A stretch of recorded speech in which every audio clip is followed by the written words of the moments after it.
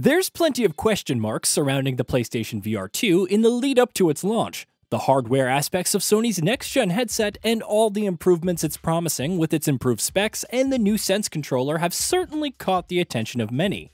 But from its price to uncertainty surrounding what kind of support it'll get from both first and third party developers, the PSVR 2 has its fair share of skeptics for a few reasons.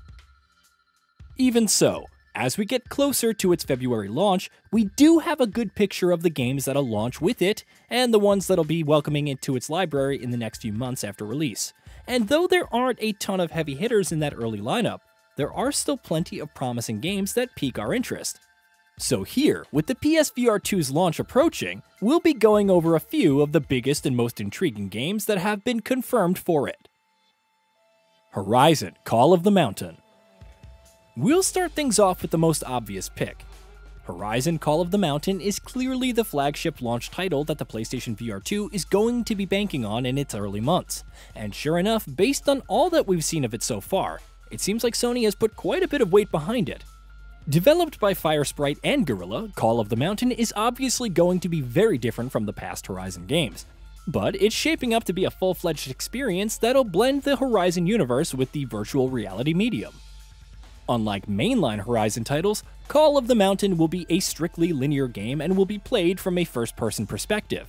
And we're more than a little curious to find out how effectively it translates the combat and traversal mechanics of the series to VR.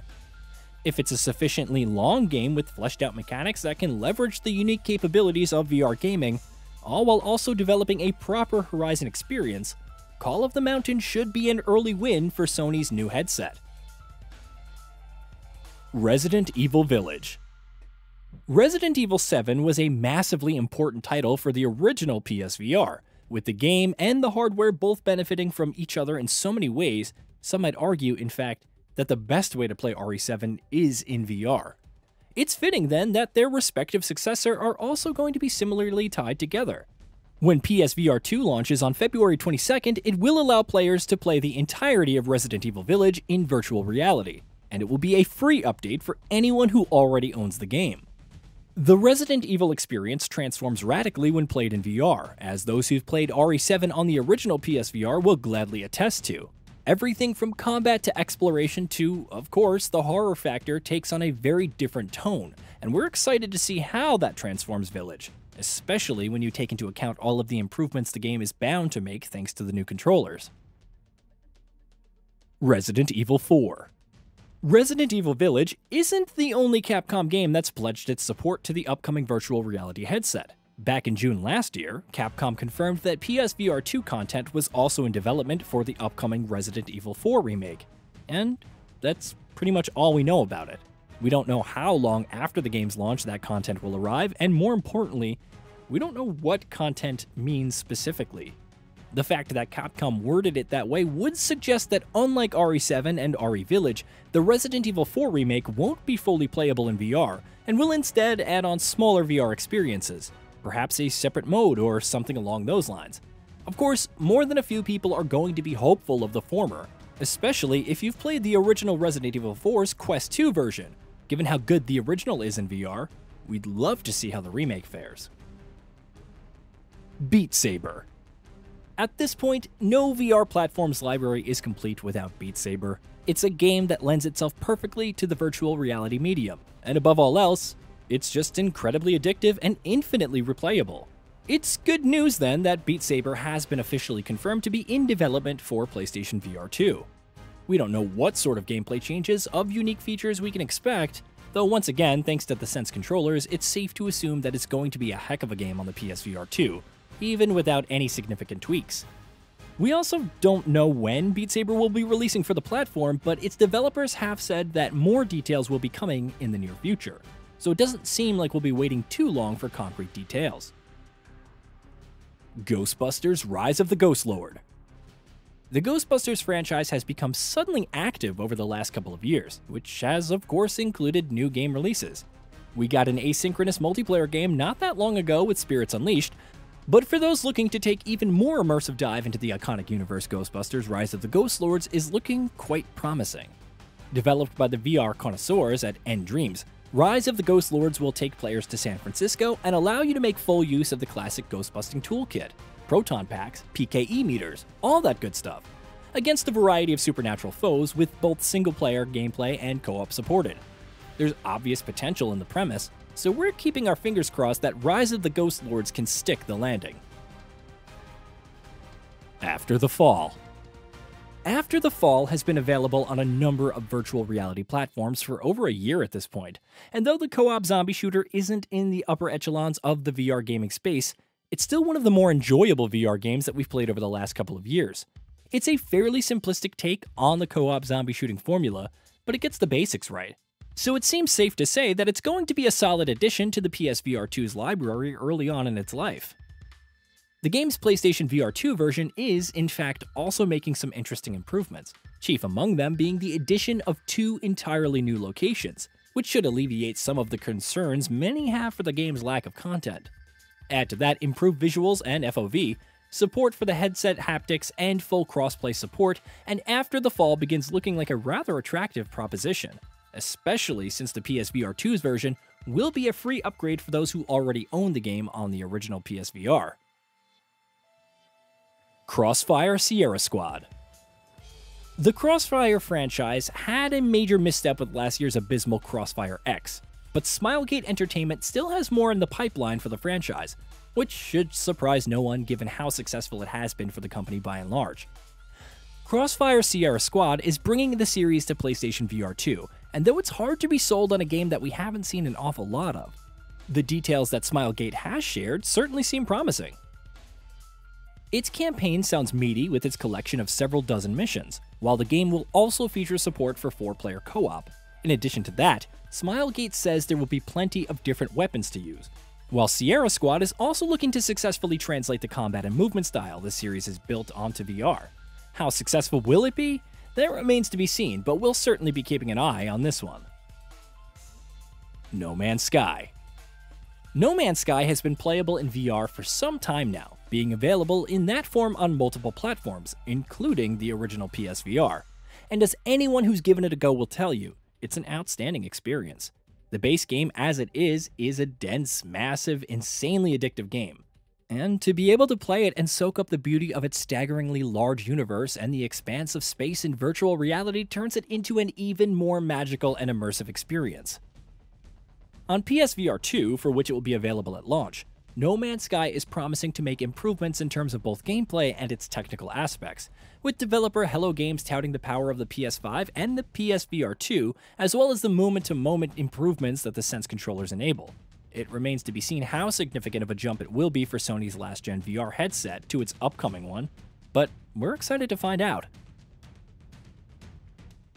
Gran Turismo 7 Gran Turismo 7 is yet another game that's been recently confirmed to be part of the PSVR 2 launch lineup. We've only seen a tiny bit of it so far, but it's easy to imagine how this sort of game could benefit from VR support, especially given the fact that it'll be coming in the form of a free update. Of course, there's a caveat worth noting here. We don't yet have full details on what the extent of Gran Turismo 7's VR support will be. It's unlikely that the entire game will be playable in VR, especially for a free upgrade being put out by Sony, a company that loves charging money for anything and everything it can at this point. Gran Turismo Sport also received support for the original PSVR back in the day, but that was severely limited, to the point that many might not even remember it.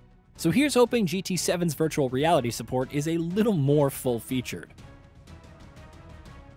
Firewall Ultra most people who have played Firewall Zero Hour will tell you that it's one of the best games available on the PSVR, so the prospect of getting a sequel on Sony's next virtual reality headset is an intriguing one. Though we've only seen a little bit of it, the multitude of improvements that Developer First Contact Entertainment is promising are hard not to get excited about. That includes more intuitive controls, significant visual upgrades, new locations and contractors, redesigns for previous maps, expanded customization options for a larger roster of weapons, and dedicated servers. Meanwhile, the developer also says it has plenty of post-launch content planned, including new contractors, maps, and weapons, so it seems like there's going to be plenty to look forward to. X8 if Firewall Ultra doesn't quench your thirst for PvP FPS on the PlayStation VR 2, this might end up doing the trick.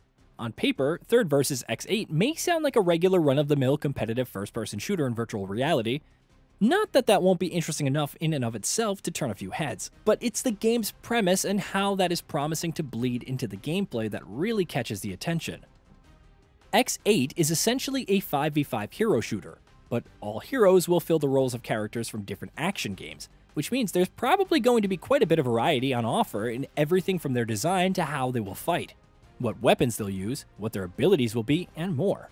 We're hoping that X8 does justice to its central premise, because if it does, it may end up being one of the better games to launch for PSVR 2 early on in its life. Green Hell VR for survival fans, Green Hell is an unmissable game, and Green Hell VR, which has been out for several months now, is similarly unmissable if you enjoy VR gaming. It's already enjoyed strong reception from critics and players alike on PC VR platforms, and with developers Incuvo and CreepyJar having confirmed that a PlayStation VR 2 version will also be launching sometime in 2023, there's definitely cause to get excited. Of course, given its very nature, it's not going to be the most accessible game, Green Hell drops you into the Amazon rainforest and challenges you to find a way to survive with very limited tools at your disposal, and it can be quite punishing, as survival games often are. If, however, you're a fan of the genre, you'll want to keep an eye on this game for the PlayStation VR 2 version. The Walking Dead Saints and Sinners Chapter 2 Retribution The Walking Dead Saints and Sinners Chapter 2 Retribution is a game that all fans of VR gaming have had their eye on for a while.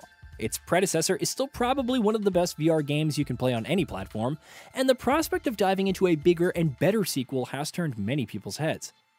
Of course, Saints and Sinners Chapter 2 has already been available on the Quest 2 for a few weeks, and reception for its atmospheric world, its brutal physics based combat, and its many gameplay improvements have been widely positive.